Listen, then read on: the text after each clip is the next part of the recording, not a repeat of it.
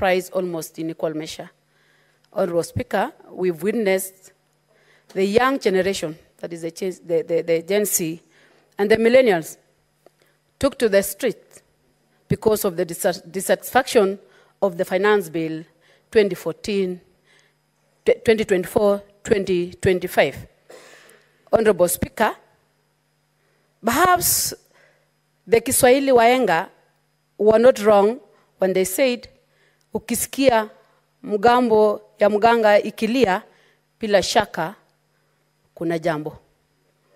Mheshimiwa Speaker, uh, Honorable Speaker, allow me to thank the leadership of this House for coming up with this motion and seeing the sense of putting this country above everything. Honorable Speaker, as a mother, it breaks my heart to see our children lose their lives on the streets. Honorable Speaker. Honorable Speaker, a number of families who lost their loved ones took to the streets demonstrating the pain they were undergoing, Honorable Speaker, having sent their kids to school, and within no time, they have struggled to make sure that they have paid their fees. They have sent these students to the various institutions across the country. But to a single day, find their loved ones lying hel- hel- helplessly uh, uh, in the roads, Honorable Speaker. Honorable Speaker, I also want to say that, Honorable Speaker, it goes without saying that this country hails from a deeper disease called corruption. Misappropriation of funds, both in two levels of government, that is within the national government and the county government, has been the order of the day. We've we have seen leaders in opulence that has left unanswered questions in the minds of Kenyans. Public funds are misappropriated and poor uses of government resources against provision of the PFM Act, Honorable Speaker. Every day, our daily news report millions and billions of shillings being lost. Now the question is, is it really lost? The Ethics and Anti-Corruption Act, read with our constitution, seem not to be doing enough to bring the corrupt officials to book. The young people went on a rampage and vehemently opposed the finance bill, but we must see beyond the streets. What they seem to be asking is the taxes vis-a-vis the service they are rendered. Honorable Speaker, this House mandate is to make sure that the county governments adhere to the PFM Act. Honorable Speaker, a number of colleagues have raised their voices in this House talking about dissatisfaction on the service delivery and the use of finances either in the national government or within the county government. But I want to say, Honorable Speaker, that we've been continuing giving room to the county governments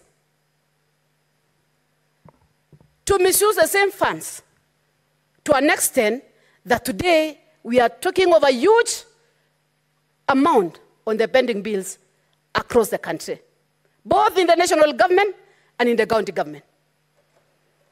Honorable Speaker, the same bills that we are talking about cannot, cannot be, be told on where it was used.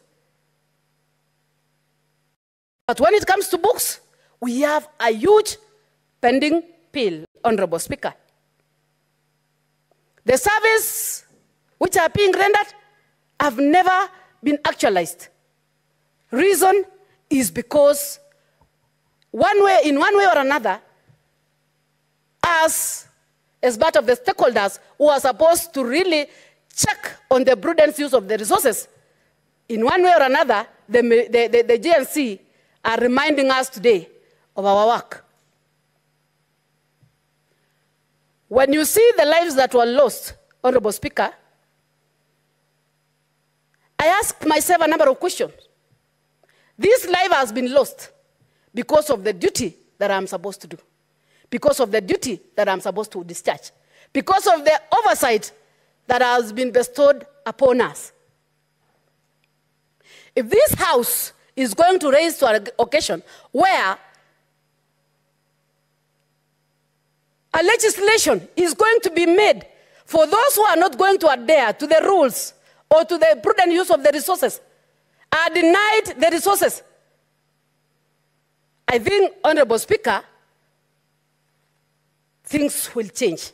And the way we are working uh, will really change. Honorable Speaker, I must applaud the Gen Z. The Gen Z had, had moved to the streets, not because they wanted to be seen, but because they were passing a very strong message. A message that was talking about issues pertaining unemployment. We have a thousand graduates. Some have graduated 10 years down the line. It's not that they are not qualified, but they are qualified, others with first class honors. But I want to say that they are still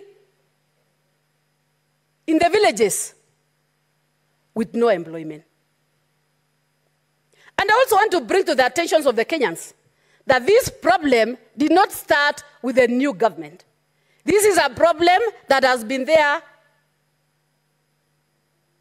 before.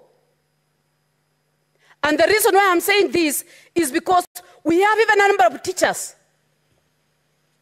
who graduated 2009. Some of them are even almost retiring. They have never been employed, employed to date. Some may get an opportunity of going through the shortcuts if they know someone, but the, the, the, the real hustlers have just been hanging with no hope. Nothing could stop this Gen Z from going to the streets. Honorable Speaker, in the same measure, I would also want to applaud the government for the few strides that they have made, despite the fact that it's still early. We only have barely two years in office, and I must thank the Kenya Kwanza government for the steps that they have taken to an extent that they have been giving employments, even though they, they, they, a number of youths are talking of uh, uh, uh, the qualified being taken to abroad. I want to say at least there are some, and even when you go to check within the website, you will find that there are some who have really uh, gotten jobs abroad. Uh, Honorable Speaker. Honorable Speaker, the government have tried in terms of subsidizing the fertilizer to be able to increase the food production. That one, I must thank the government. And I must say that the government has been trying its best in terms of improving the economy of this country. Despite the shortcomings, despite a lot of politics, the, the, despite the political scores that we are trying to, to, to, to, to hijack the agenda of the Gen Z, I want to say and to tell the president that he was in the right direction. And I also thank him for giving room to the Gen Zs and even listening to this house to an extent that part of the discussion that we've done from the word go, when we were discussing the state of the nation, some of them have been implemented. One of them being the uh, signing of the IEBC uh, legislation. There is also the issue of the NADCO report. I want to thank the president and to say that leadership is about consultation. Honorable Speaker, Not only that, there are a number of things that the government has done.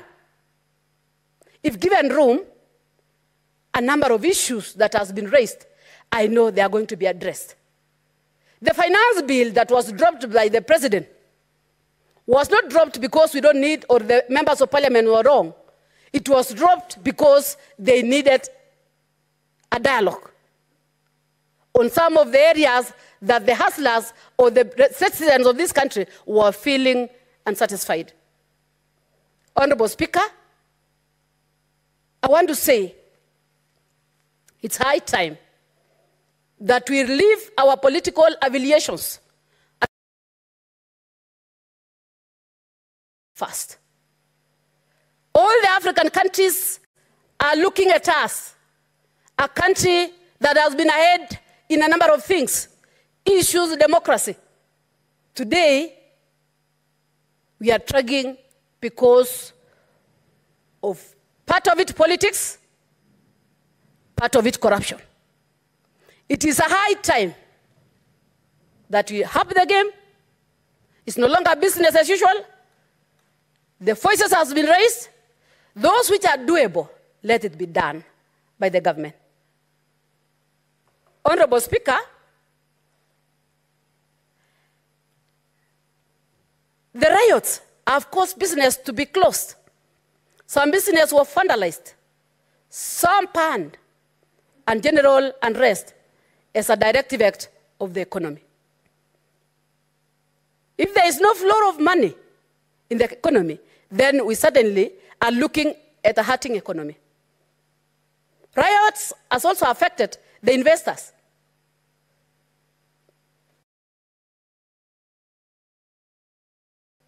For them to invest. If all these things are going to take place, Honorable Speaker, even the investors who could employ a number of youths will run away from this country. You saw a number of businesses being destroyed, not by the Gen Zs, but by those who decided that it was advantage for them to do what is wrong. That is why they went to an extent of coming to parliament to vandalize not because they hate parliament, but because some few individuals were trying to send their, uh, to, to, to, to handle their political scores. Honorable Speaker, the way forward is not to point fingers at who did what and who did who, who did what? And who did not? And the leader serving in the Senate at such a time, Honorable Speaker, history will judge us harshly.